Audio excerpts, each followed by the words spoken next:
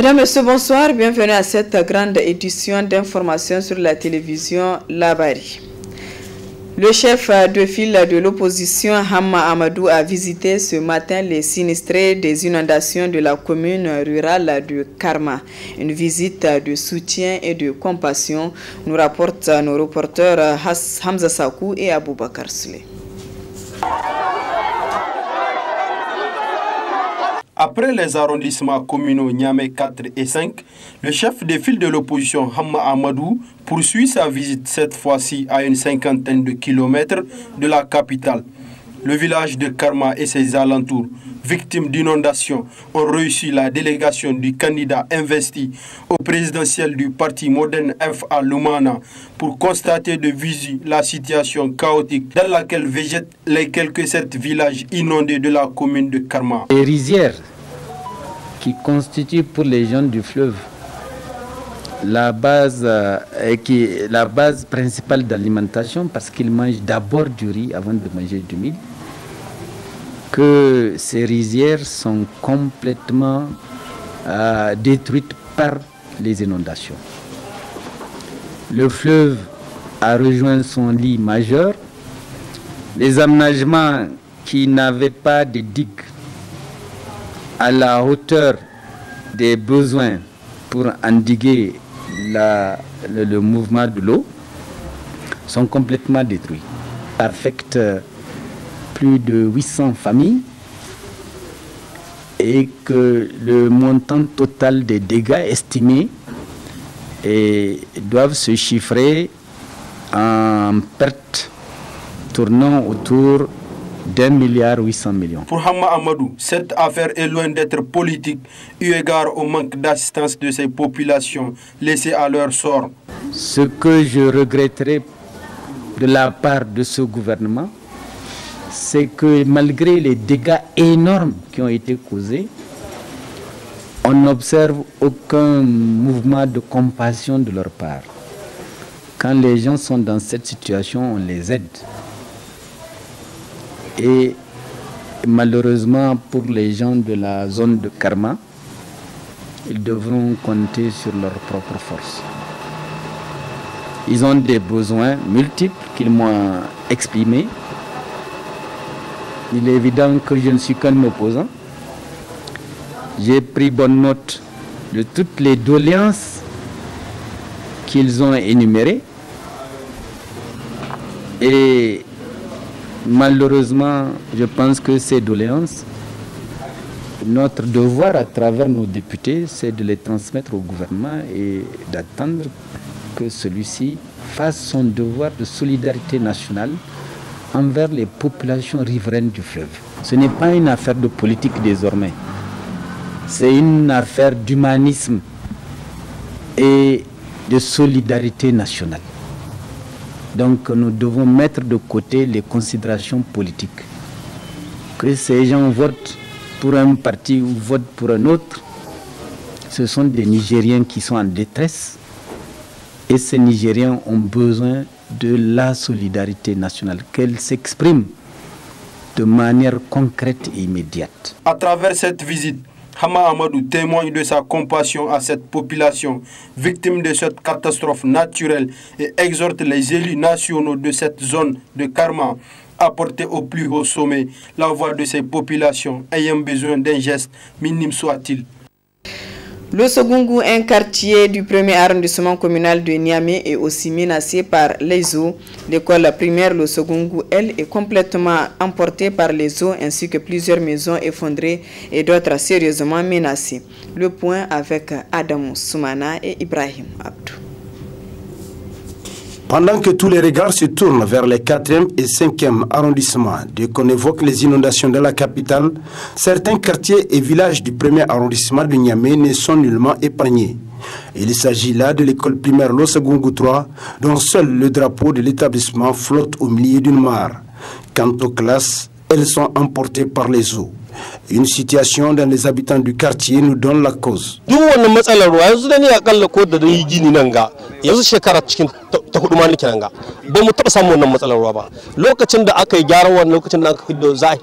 Cela fait 4 ans que je suis dans ce quartier et nous n'avons jamais eu ce genre de problème jusqu'au moment où la SATOM a réalisé la route Goudel Tondibia. Et bonjour les dégâts.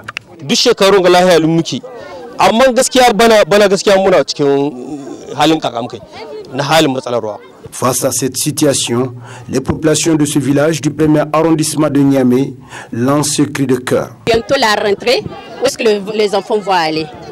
On, cherche une solution. On laisse un appel à l'État, à qui de droit, peu importe la personne, de nous venir en aide parce que et, y a des, on a besoin de caniveaux. Et ici, là, en bas, si vous partez en bas, il y a des maisons qui sont dans l'eau. Il y a des gens qui ont déménagé parce qu'il n'y a pas de passage. Il n'y a pas de passage. On a besoin d'aide, des caniveaux. Et ceux qui, sont, euh, ceux qui ont leur maison dans l'eau, aussi de voir comment le faire pour les aider.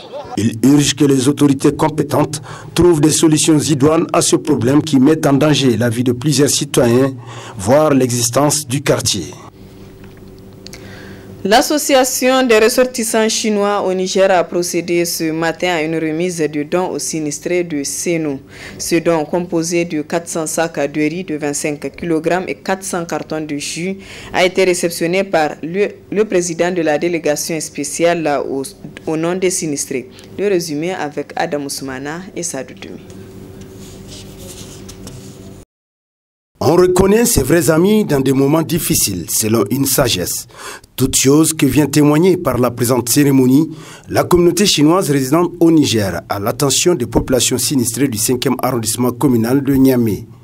La communauté de ce grand pays ami du Niger, témoin du calvaire vécu par les sinistrés des inondations, ne sont pas restés insensibles. Nous sommes profondément attristés par la situation difficile qui vit les victimes des inondations.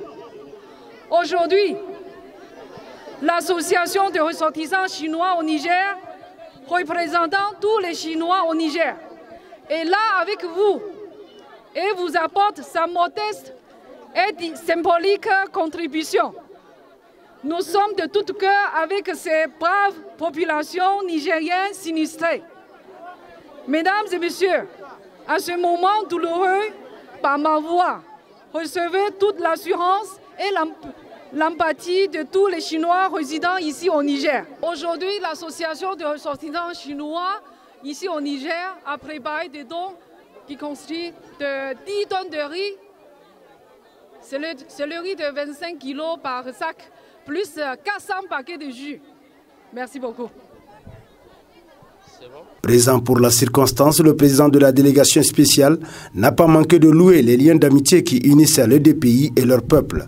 Mokhtar Mahmoudou a émis le vœu de voir ce geste chinois faire école. Je voudrais euh, sincèrement euh, remercier l'association des Chinois au Niger d'avoir euh, répondu à l'appel lancé par les plus hautes autorités de notre pays, à commencer par le chef de l'État Mamadou Soufou qui s'est mobilisé à plusieurs reprises pour voir les sinistrés, pour voir les conditions dans lesquelles se trouvent les sinistrés, qui a instruit le gouvernement de prendre toutes les dispositions pour que vous soyez dans des bonnes conditions, que cette crise passagère puisse être prise en charge par le gouvernement, mais aussi par toutes les bonnes volontés.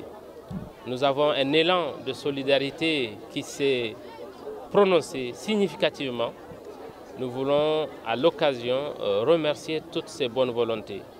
En particulier aujourd'hui, nos frères et sœurs chinois vivant sur notre territoire qui ont eu l'idée généreuse d'apporter leur concours, d'apporter un concours significatif à ces populations euh, sinistrées se trouvant dans des conditions difficiles. Pour un don sans déteint digne de ce nom que la communauté chinoise au Niger offre aux sinistrés de Seno dont la joie se lit sur leur visage après réception de leur kit. La Chine, par le biais de ses ressortissants au Niger, prouve ainsi toute sa solidarité et amitié au peuple nigérien pour que vive davantage la coopération entre les deux pays. Suite à des séries de reportages sur le village de Daraina inondé par les eaux du fleuve, nos reporters Asama Osedou et Abouakar Soulé se sont intéressés au manque d'aliments bétail dans ce village, obligeant du coup ces éleveurs à partir loin du village à la recherche de paille pour les animaux. Suivez le reportage. Se rendre de Satoré à Dereina, deux villages distants d'environ un kilomètre, relève d'un véritable parcours de combattants car il faut emprunter une pirogue. Les deux villages sont complètement coupés par les eaux du fleuve en furie. Cette situation vient compliquer les choses à ces jeunes garçons qui vont tous les jours à la recherche des foins pour leurs animaux cloîtrés à la maison car les aires de pâturage sont englouties par les eaux, un casse-tête pour les parents.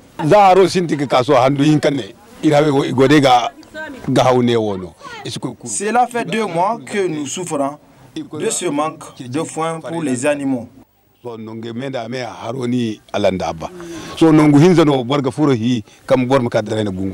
Chaque matin que Dieu fait, il nous faut envoyer nos enfants à la recherche de paille. Tous les villages inondés.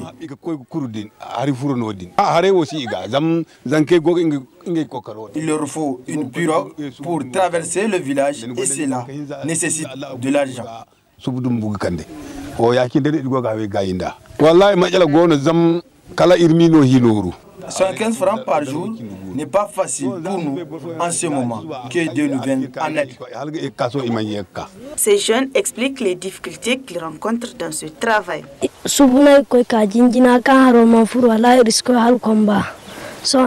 pars chercher de la paille pour les animaux. Ces derniers sont cloîtrés à la maison car les aires de pâturage sont inondées.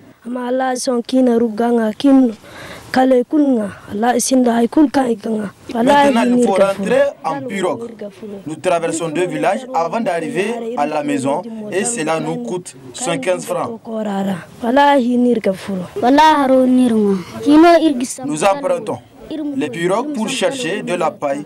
On est inondé par les eaux du fleuve. Il n'y a plus de foin pour les animaux. Les choix. Gageons que ces eaux se retirent dans un bref délai car l'élevage est l'activité principale des habitants de ce village d'Arena situé à 19 km de la capitale Niamey. ANIDA, c'est la nouvelle association nigérienne des importateurs et distributeurs d'engrais dont sa création a été annoncée en Conseil de ministres du 16 septembre dernier. Création que contestent les travailleurs de la centrale d'approvisionnement en intrants en entrant et matériel agricole Caïman qui a rendu public ce matin une déclaration. Résumé avec Sherifato Abdoulaye et Cheibou Guissou. Les travailleurs de la centrale d'approvisionnement en entrant et matériel agricole Caïma se mobilisent pour contester la décision du gouvernement de réformer le secteur des engrais à travers la création de l'Association nigérienne des importateurs et distributeurs d'engrais, ANID, annoncé dans les conclusions du Conseil des ministres du 16 septembre 2020. Une situation qui préoccupe le syndicat national des agents de la Caïma Sinatrac. Considérant le professionnalisme dans le domaine des engrais et le travail où le pays voisin comme le Burkina, le Togo, le Ghana, inspirant de l'exemple du Niger à travers la Caïma, ont créé leur propre centrale d'approvisionnement en entrée et matériel pour booster leur famine dans le pays en accroissant la production agricole par l'achat des distributeurs, par l'achat et la distribution des entrées de bonne qualité et en quantité à tous, pas de tout venant. Considérant les réformes des secteurs des engrais entrepris par l'État, considérant que cette réforme prive le Niger d'un outil efficace pour la promotion de son agriculture, constate que les réformes profiteraient à un groupe d'intérêts bien connu et spécialisé dans la destruction des outils de souveraineté nationale. Constate avec surprise le décret pris en Conseil du ministre du mercredi 16 septembre 2020 qui désengage la de l'achat et la vente des engrais au profit d'un secteur privé. Selon le gouvernement, cette réforme envisagée vise à améliorer sensiblement la disponibilité et l'accessibilité des engrais à la hauteur des besoins de l'agriculture nigérienne. un avis qui n'est pas partagé par les travailleurs, attire l'attention de son Excellence, Monsieur le Président de la République, chef de l'État, que la mise en œuvre de cette réforme échapperait au contrôle de l'État pour l'achat des engrais de qualité, favoriserait une spéculation qui exposerait nos voyants agriculteurs à tous les risques. Toute augmentation de la productivité nationale, notamment l'autosuffisance alimentaire, zéro importation d'IRI, la fin zéro d'ici 2020 nécessite différents préalables, dont l'approvisionnement en intrants et matériel agricole, qui est une des missions de la Caïman. Informe Son Excellence, Monsieur le Président de la République, nous sommes pour une réforme efficace, efficiente, inclusive du secteur des engrais et de rester dans l'histoire en soutenant ce fleuron national afin d'éviter d'exposer nos voyants agriculteurs à des conséquences chaotiques sur leur rendement. Monsieur le Président de la République, usez de vos pouvoirs pour éviter une erreur monumentale de soutenir une réforme du secteur d'engrais mal pensée, non inclusive et dont nous vous prévenons pour l'histoire que ses effets drastiques pour le peuple nigérien. Enfin, demande à son Excellence, Monsieur le Président de la République, de prendre des mesures courageuses pour éviter la disparition totale de cet outil de développement national. À travers cette réforme initiée, dans la perspective de la mise en œuvre de l'important programme MCA Niger, la CREMA va se désengager de l'achat et de la vente des engrais au profit du secteur privé, ce que les agents ne veulent pas entendre. Ouverture ce matin à l'hôtel Radisson Blue de Niamey d'une conférence initiée par l'USTN. Le thème retenu est Travail décent pour tous et pour toutes. Le compte rendu de Alice Ibrahim et Chebou Guissou.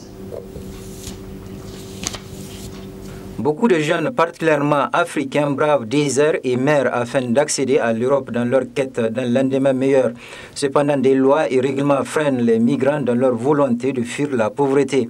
La question de la migration est au centre de cette conférence sous-régionale initiée par l'USTN avec comme thème principal Travail décent pour tous et pour toutes.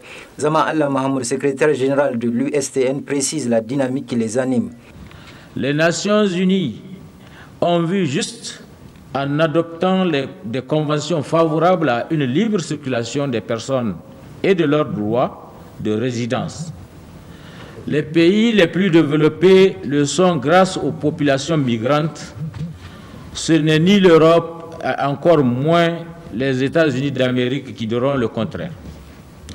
La problématique du travail décent pour toutes et pour tous est une vision partagée par l'USTN c'est pourquoi nous sommes inscrits dans toutes les plateformes qui en ont fait leur préoccupation. À l'USTN, nous sommes convaincus qu'aucun développement n'est possible tant que les hommes et les femmes continuent à être vus de par leurs origines sociales et géographiques. Il n'y a pas de terre destinée à telle ou telle race, Chacun doit se sentir à l'aise sur la terre de Dieu. Enfin, pendant deux jours, les participants à cette conférence partageront leur expérience sur le travail décent, la migration et le système de protection sociale. une déclaration dite de Niamey est attendue à la fin des travaux. Le cadre des activistes démocrates engagés pour un Niger émergent, CADEN, en partenariat avec la CENI, a organisé ce matin une conférence débat. Le thème retenu pour cette conférence est rôle des, médias, des réseaux sociaux dans les élections. Le résumé de cette conférence avec Nafis Zakou et Ibrahim Abdou. C'est dans le cadre de la célébration de la Journée internationale de la démocratie que le cadre des activistes démocrates engagés pour un Niger émergent, CADEN, en partenariat avec la Commission électorale nationale indépendante CENI, organise cette conférence débat sous le thème Rôle des réseaux sociaux dans les élections. Il s'agit ainsi à travers cette conférence d'échanger sur le processus électoral apaisé en lieu avec les réseaux sociaux. Le CADEN entend jouer sa partition à travers une sensibilisation des activistes et blogueurs sur l'utilisation des réseaux sociaux en période électorale. En effet, depuis l'avènement des réseaux sociaux, à savoir Facebook, Instagram, Instagram Twitter, euh, WhatsApp, etc., sont devenus des espaces publics facilement accessibles à la, jeunesse nigérienne. Cette jeunesse s'est même appropriée pour s'amuser en abusant de ces technologies qui sont devenues leur moyen d'expression portant sur toutes les questions de la vie de la nation. Ce qui occasionne des manquements courants et dont les plus observables sont notamment accès d'un nouvel espace marqué par la théorie du complot, l'intoxication, l'information fake news, fake news, diffusion de messages de haine ethnique ou raciale ou raciste, des publications à caractère discriminatoire à l'égard des groupes ciblés, de jeunes amateurs et non vigilants font face aux messages de manipulation, d'instrumentalisation des hommes politiques. Avec l'avènement du terrorisme au Sahel, donc la diffusion des discours et de l'image de propagande à caractère terroriste diffusée sans euh, retenue de l'image des soldats tombés sur le champ d'honneur. En ouvrant les travaux de cette conférence débat, la CENI réaffirme son engagement à accompagner le CADEN dans sa mission qui est de sensibiliser la population sur le rôle des réseaux sociaux. La CENI se met à votre service en créant un site web, des pages Facebook, Twitter, Instagram et YouTube. Ces plateformes servent de portail d'information, de formation, d'échange, de partage, de sensibilisation et de proximité. Un lien direct entre la CENI et les électeurs, d'une part, et d'autre part, une relation permanente, dynamique et réelle entre l'institution et la population en général. Également, un cadre interactif et convivial pour tous les acteurs et partenaires aux élections. Les différentes pages se présentent avec une identité de la commission et facilitent la recherche d'informations sur l'institution, ses archives. Elles sont aussi une source d'information pour tous les acteurs des élections au Niger et aussi sur tous les médias les blogueurs et autres animateurs de réseaux sociaux peuvent aussi considérer ces plateformes comme une opportunité pour eux. Notons enfin que cette conférence débat du CADEN vient à point nommé car face aux échéances électorales, les réseaux sociaux constituent un outil incontournable, voire indispensable dans le cadre de la diffusion de l'information, la sensibilisation et la formation de la société.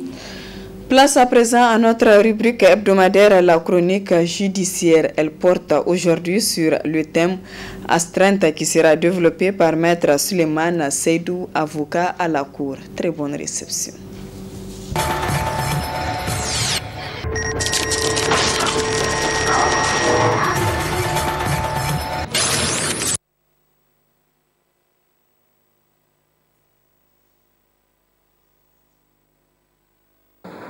L'astreinte, en réalité, est un moyen utilisé par le juge au fin de s'assurer qu'une obligation mise à la charge d'une des parties au procès est exécutée. Lorsque vous êtes par exemple en procès avec euh, une tierce personne, cette tierce personne peut être condamnée par exemple à vous payer une somme d'argent. Alors, pour s'assurer effectivement que la personne payera cet argent, le juge peut condamner cette personne à s'exécuter sous astreinte. L'astreinte, en réalité, est un moyen de contrainte qui consiste à condamner une personne à payer une somme d'argent lorsque cette personne se refuse à exécuter une décision de justice qui est devenue définitive. Alors lorsque la décision est définitive, vous devez vous exécuter volontairement. C'est ça le principe. Lorsque la décision est définitive, vous devez vous exécuter volontairement. Mais il arrive qu'il y ait des débuteurs récalcitrants ou des personnes qui refusent d'exécuter des décisions de justice. Alors s'il faille contraindre cette personne à exécuter la décision de justice, il faut que cette décision soit, soit en tout cas que le débiteur soit condamné à s'exécuter sous astreinte, de telle sorte que l'astreinte qui est fixée d'office par la juridiction ou parce que l'une des parties fait la demande, lorsque la décision est assortie d'astreinte, on vous fait en réalité injonction de payer ou d'exécuter la décision, faute de quoi, chaque jour qui passe, vous allez payer entre griffes ce qu'on appelle des pénalités. Vous êtes en procès avec une personne, vous avez une décision devenue définitive, la décision fait obligation à l'autre partie de vous payer 5 millions de francs CFA. La décision peut être assortie de la l'astreinte, c'est-à-dire quoi? On dira dans la décision que si vous ne payez pas les 5 millions de francs CFA, chaque jour de retard qui passe, vous allez payer par exemple 100 000 francs de plus. De telle sorte que si vous faites deux jours que vous n'exécutez pas la décision, ça fera 100 000 francs multipliés par deux qui viendront s'ajouter aux 5 millions de francs CFA. Si vous partez vous asseoir à la maison parce que vous voulez faire de la résistance, vous faites un mois, deux mois, trois mois, quatre ans ou même une année sans pour autant exécuter la décision, l'astreinte continue toujours à courir de telle sorte que on va venir faire ce qu'on appelle une liquidation d'astreinte, demander au juge de constater que le débiteur ne s'est pas exécuté et que l'astreinte que le juge a fixée, voici le montant auquel l'astreinte s'élève. Donc on fera par exemple les 100 000 francs par jour, multiplié par le nombre de jours que tu as eu à faire sans pour autant exécuter la décision. De telle sorte que de 5 millions de francs CFA, vous pouvez vous retrouver à payer 5 millions de francs CFA, plus les astreintes qui peuvent même aller à 5 millions, 6 millions, 7 millions, 10 millions ou 20 millions de francs CFA, en fonction du temps que vous mettez à ne pas exécuter la décision. C'est en, réalité une épée de Damoclès qui pèse sur la tête du débiteur pour l'amener à exécuter la décision que le juge a rendue.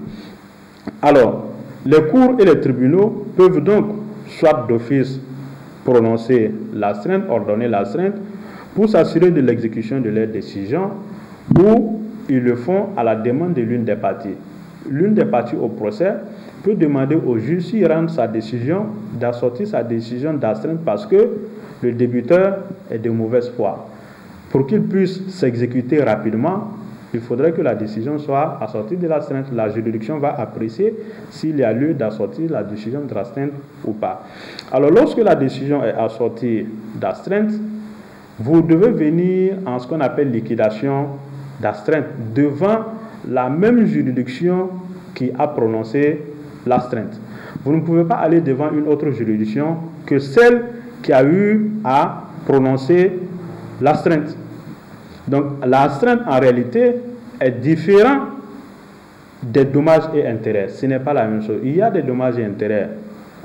Il y a également l'astreinte qui en réalité est un moyen combinatoire qui est utilisé par le juge afin de s'assurer de l'exécution de sa décision. Le, le but de l'astreinte, c'est que la personne puisse payer. Si on condamne la personne à payer 5 millions de francs CFA plus des astreintes de 100 000 francs par jour de retard. Si la personne fait un mois sans payer, vous venez en liquidation d'astreinte, vous calculez le montant que l'astreinte fera, ça fait 100 000 francs multiplié par 30 jours, puisque le mois fait 30 jours, vous allez avoir ce montant qui va venir s'ajouter sur les 8, 6 et 5 millions de francs CFA. S'il vient payer l'intégralité de ce montant, l'astreinte tombe automatiquement parce qu'il s'est exécuté.